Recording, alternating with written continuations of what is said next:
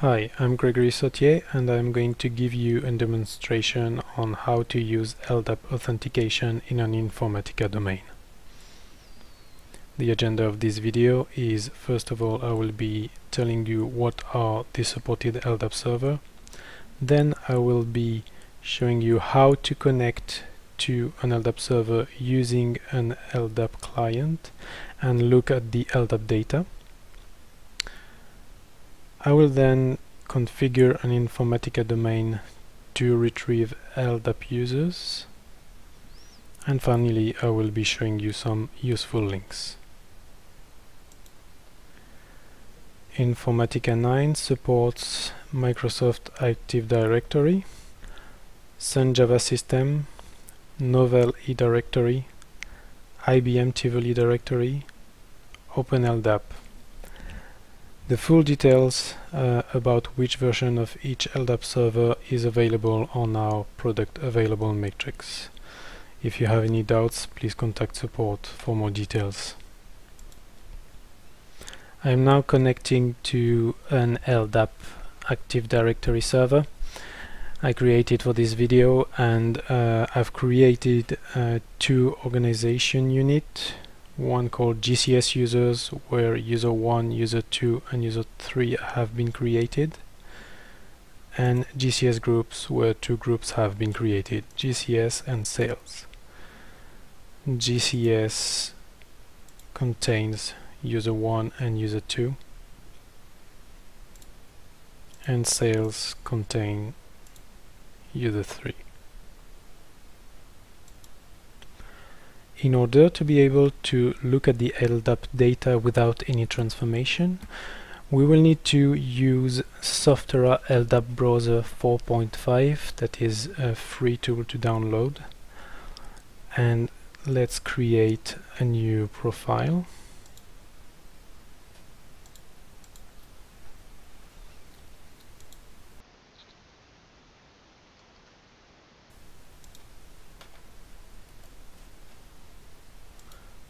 This is the host name of the LDAP server.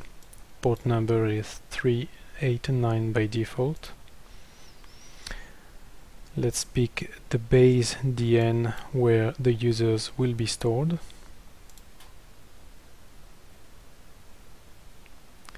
Principal is the username that has the ability to look at all of the users in the Active Directory.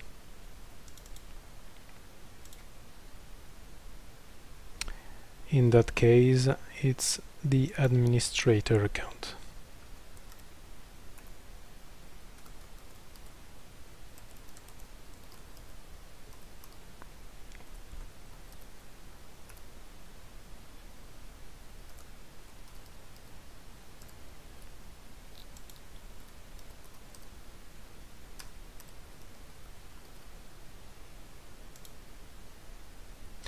So we are now logged in to Active Directory so you will recognize the GCS users organization unit where user 1, user 2 and user 3 are present. So let's have a look at the attributes that a user has.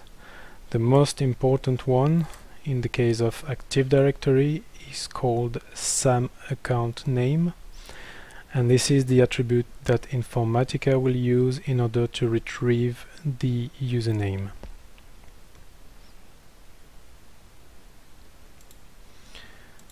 We also have the groups, so if we look at GCS,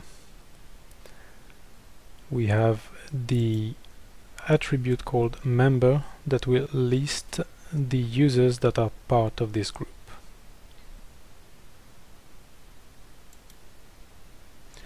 So I am now going to show you how to synchronize LDAP users with PowerCenter from the administration console.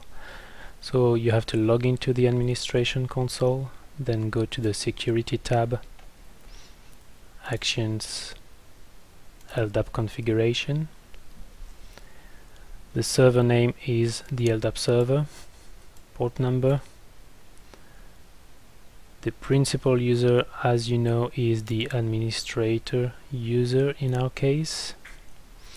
And the group mm, attribute definition is the member attribute as we saw when we look at the group in Softerra. So this will help uh, Informatica uh, by letting him know which attribute to look at in order to find which user is part of which group. So let's test the connection. The next step is to create a security domain. The first property is user search base which means we need to specify where the users are located in order to research the users to synchronize. User filter is what needs to be specified in order to filter out users. So in that case I decided to only retrieve the users that are part of the group GCS. For that I had a look at the attribute called member of. If we go back to Softerra and look at a user, the member of attribute tells you which group a user belongs to. Back to the administration console in order to check that all the filters and search base are correct, click on preview and make sure that the correct users are retrieved. In our case user 1 and user 2 are indeed part of GCS and we also retrieve both of the GCS and sales group. Then hit synchronize and your users are imported into a new security domain ready for more configuration and uh, be able to synchronize and add more privileges. So this is how you configure Informatica to retrieve users from Active Directory. The useful links are stated on that slide. Uh, you have Softerra LDAP browser. The free version is 4.5 as mentioned before.